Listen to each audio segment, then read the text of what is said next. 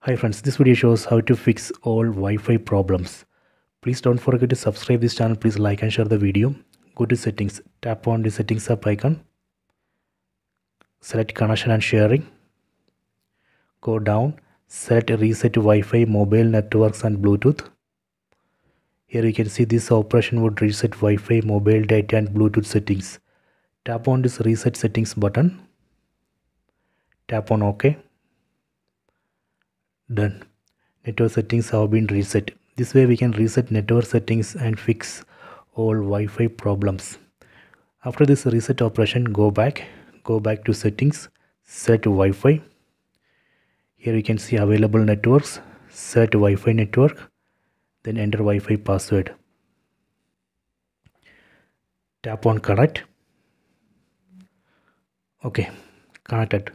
Tap here here we can see connection status connected connection speed and signal strength excellent. So this way we can reset network settings and fix all wi-fi problems. Please check it